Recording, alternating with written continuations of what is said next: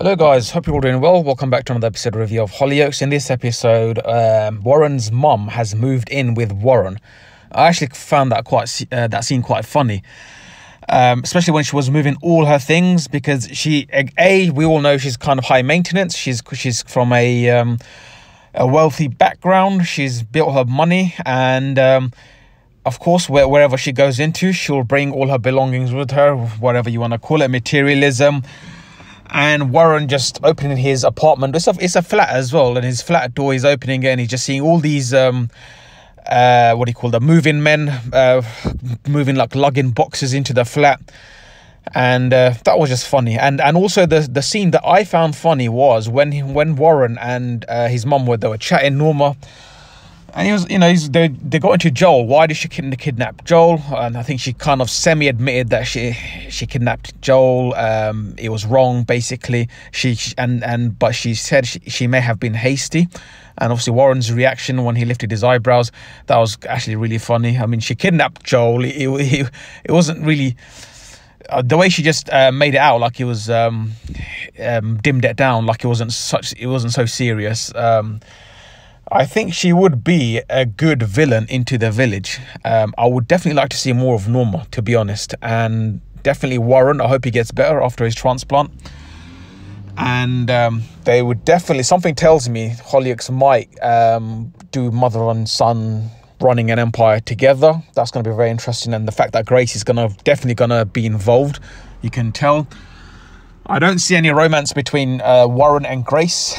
I, I really do think they get along with as good friends, almost best friends. You can tell um, they're really good together as platonic friends. And um, I also think that um, he would he has some spark with Sienna Warren, but with Grace, it's definitely like more like a sibling kind of like best friend kind of relationship. So I hope I'm hoping um, Hollyoaks don't gear Warren and um, Grace together um, because they're, they're, they're so good. Like Warren, Grace, and Norma.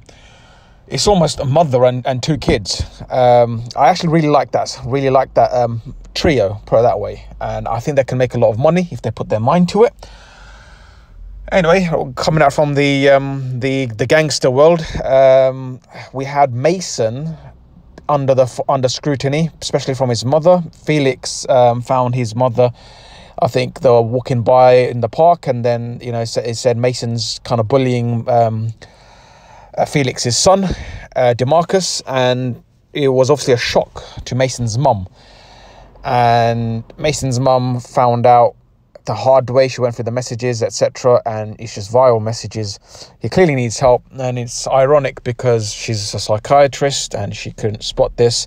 It's no one's fault. It's just I think that's just how life is sometimes. And again, great scenes, great great scenes in that episode.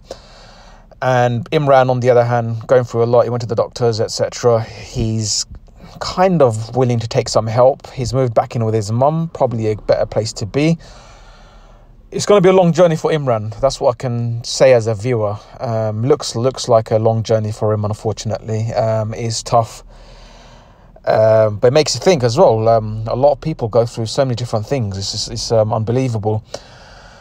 Um, I hope that you enjoyed that review and I, you tune into the next one. If you can subscribe, it'll only take a couple of seconds, so you don't make sure you don't make the next one.